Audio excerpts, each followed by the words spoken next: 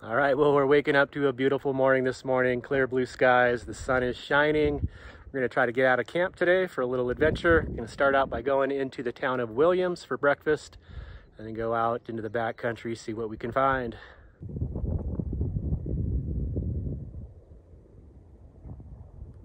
Oh, it's nice in the sun.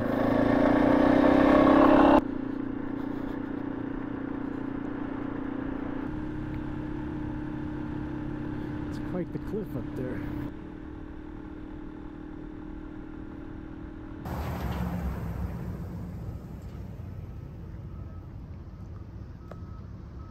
I went with the country fried steak, eggs, breakfast potatoes. Kel did the Monte Cristo. That thing is looking wild. You don't see them very often. Let's dig in. All right, how's that for the clean plate club? That was good. He's like the captain of the Clean Plate Club.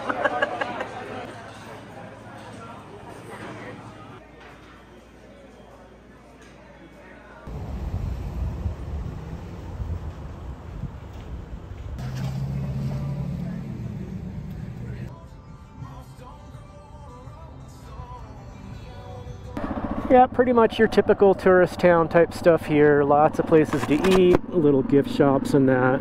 It's cool. Just neat being up in the trees, up in the mountains here. A lot of Route 66 theme stuff. Little cars like this. This gas station here is 419, but there's a couple around town here that are 385 which is cheaper than I filled up the last few times so that's good to see. Some cruisers. Must be these guys right here.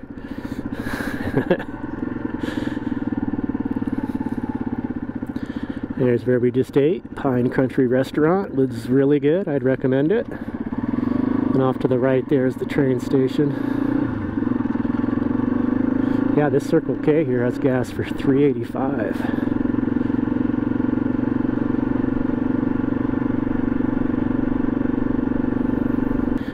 All right, quaint little town of Williams. We are moving on. Let's do it.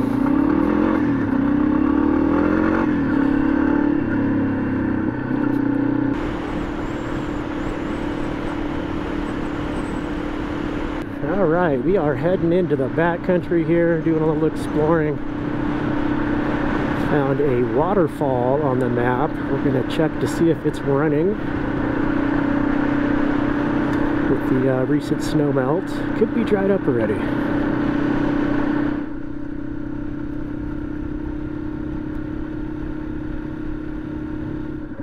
Oh, not too bad. It looks like on the left it's a little less. Oh, it's barely anything. Let's blast through it on the way back.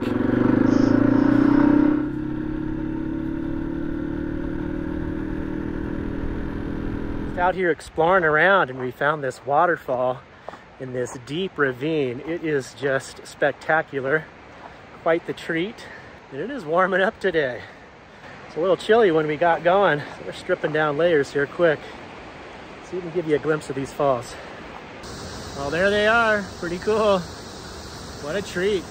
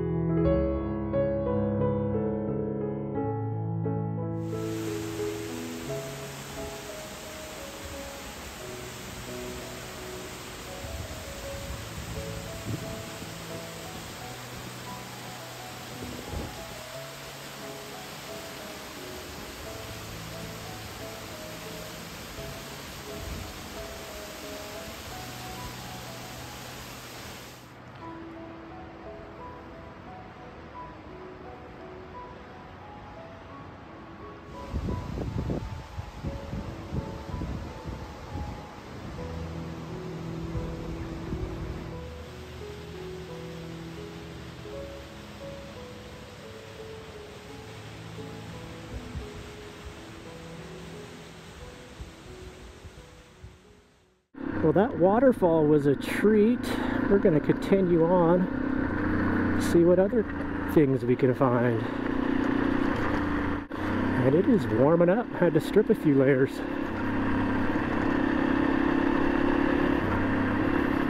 Well, we're out here exploring still, and we came upon this lake here.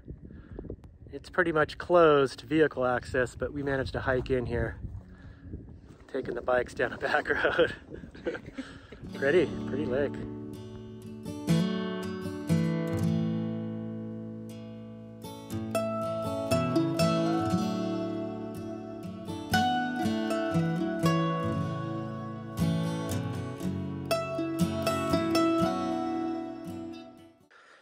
Oh, looks like this is an old stove chimney of some sort. I was thinking it was part of an old cabin, but the ground just doesn't look flat enough around it. Maybe it was an outdoor, could be something else, water trough, but uh, I'm thinking more maybe it was an outdoor stove, oven.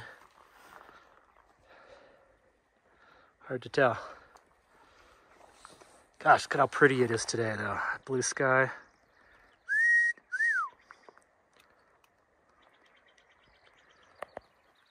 Birds are singing.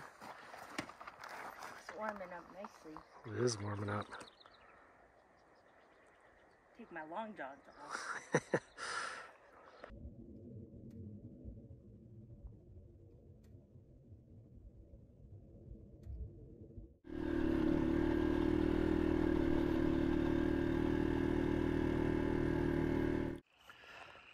Well, we're over here checking out Coleman Lake. I have never seen water in this lake bed. It's usually always like a marshy, just a tiny bit of water in the middle of it. And it is pretty full up this year. Pretty cool. Some of the frogs.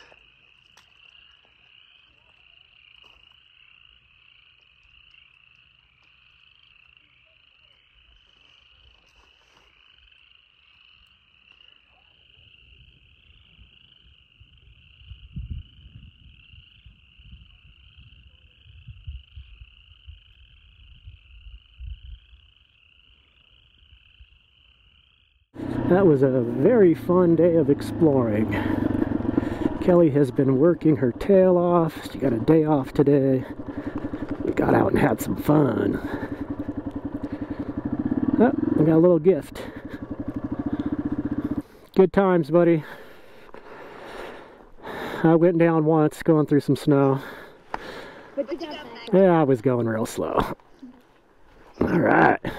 I get some pizza dough going. We're going to have pizza for dinner. Okay, so we are back at camp. I'm going to get prepped on dinner here because it is getting on in the afternoon. I'm going to do a little uh, cast iron pizza here at camp. Can we peek it in there? Let's see what we got going. So I'm going to do this pizza up in a 12 inch cast iron skillet and I've got a little special trick for that to uh, get it fully cooked and comes out like a wood fired pizza. So stick around. About three quarter cups flour is about good for a 12 inch pizza. Actually, that's a 10 inch. My apologies. It's not 12 inch, that's 10 inch. About a quarter cup water with the yeast in there. I'm going to add a little bit of salt to the flour, get that yeast and water in there. Mix it up, let that rise. There we go. Away you go. Might have to add a little more water. Kind of a drier dough. Last few pizzas I've made a little bit too much dough and I ended up trying to stuff it all in the pan and it's a little bit thicker crust than I prefer. So I usually just try to knead it for about five minutes or so. Don't get too crazy. Let's put a little bit of oil on my hands. Go ahead and get that in a bowl, put a little oil on it, cover it, let that sit for a few hours. It's getting close to pizza time. Our dough is fermenting and rising nicely. I'm just gonna do like a three hour proof, I guess they call it. And I'm getting my cheese grated up here for pizza sauce. Kelly happened to have this little uh, bubbly packet of sauce. You're gonna use this. I've been using this Margherita brand pepperoni. It's So good. Really good. And then I've got some spicy Italian sausage, some pasta we made the other night, some leftover. So we'll use some of that sausage. Thinking maybe some thinly sliced onions. I'm probably gonna skip the olives this time. I've got this technique using a blowtorch. It comes out like wood-fired pizza. You guys got to check it out. So I'll show you when we get that going. Okay, here we are going for the thin crust on this. Last few times I've done this, I've used a little bit too much dough. And uh, the end crust ends up being way puffier and thicker than I like. So I think I got it right. The three quarter cup of flour for the 10 inch. I like it to stretch it so you can almost see through it. See light through it. Peekaboo. And I just flap it in the pan. Top it all in the pan. Yeah, this is still a little, probably could almost go away with a half cup of, of flour to make the dough. Going in with this sauce next. Not sure if we'll use all this. It's, low moisture mozzarella, mozzarella that I shredded myself. The pre-shredded stuff. You just don't get that stretchiness because they add that whatever cellulose to keep it from sticking. And we're gonna go in with some peps. Place those all around. This has been a process for me. This will probably be my maybe, I don't know, I've made at least six or seven of these. More than that. More than that, probably yeah. up to a dozen by now. Yeah. a lot of times I'll make two. Yeah. Brown up this spicy Italian sausage the other day for some pasta sauce and had some left over. so a little sausage, bell pepper and onion to kind of top it off. It's gonna be kind of like a combo minus the olives. I just love, I have fun making these pizzas. I really get a kick out of it. And when you get the blowtorch out, it gets real fun. Even- Said no guy ever. Hey, all guys love blue I know. Kind of a medium low heat. And I don't have, actually do have a cast iron lid for this, but because I'm not using charcoal, I found that this metal plate of mine works just fine. I usually put a folded up rag in there. It kind of insulates the top, holds in the heat a little bit. Get it going for a good five minutes or so like that. And then when it starts to cook the dough a little bit, I break out the blowtorch. So, okay, so my technique for this, so I don't get just the center of the pizza burnt or super brown, I kind of rotate the pan uh, around the edges, have the flame on the edge of the pan. It really helps heat up the outside of the cast iron pan. So I'll leave it for a couple minutes in one position, slide it around, get some heat on the other end like that. Then I will slide it over down in, into the center, make sure that center stays hot. But for the most part, I'm trying to really get the edges of the pan hot. And uh, we'll let that go for a little bit. Already starting to cook. See it puffing up. I really want to keep that lid on to keep the heat in. And then I'll break out the blowtorch. Have some real fun. Okay, so it's been on there for a few minutes now, maybe four, five minutes total. You can see it's already puffing up. So I've turned the heat down on the bottom a little bit. I break out my blowtorch here. And I've done the research. You've probably seen videos of people using torches for cooking. It's totally safe. You don't have to worry about anything as far as contaminating food. Because I got pepperonis on here, I try to just hit the pepperonis, get those to release their fats and kind of curl up a little bit. Gotta be careful. You don't want to have anything that can catch fire around your stove. And hit those end crusts there, and you can see they brown up. Got a little bit of slight charring, just like a wood-fired oven. Comes out so good. I think this is your favorite part. It's fun. I just have a blast making these pizzas.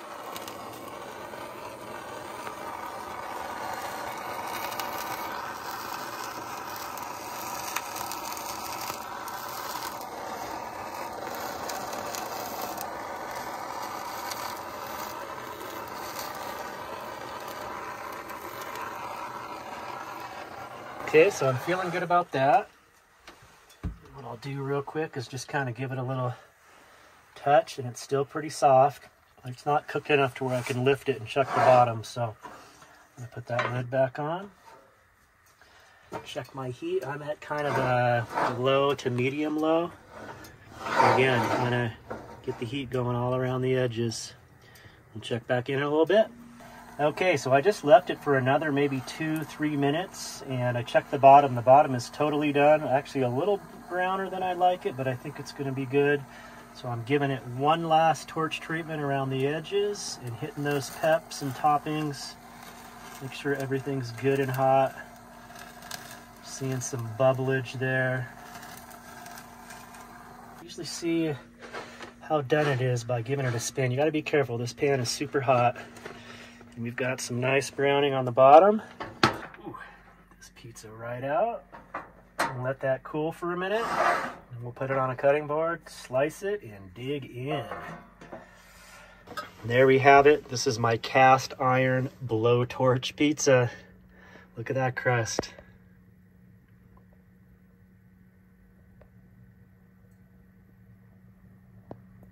Oh, that smells so good.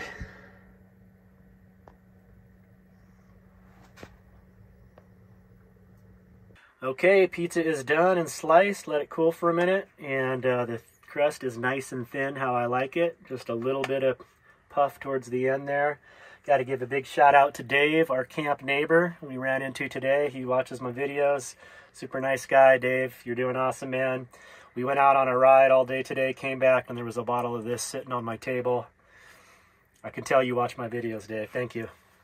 So we're going to try it out. This is a Tabasco Sriracha. It's gonna be delicious. Just a few little drops. I don't like to go too heavy. I got to do the taste test here for you guys. I'm really trying not to brag to Kelly when I make these pizzas, but I swear I, I'm getting this down. They turn out so good.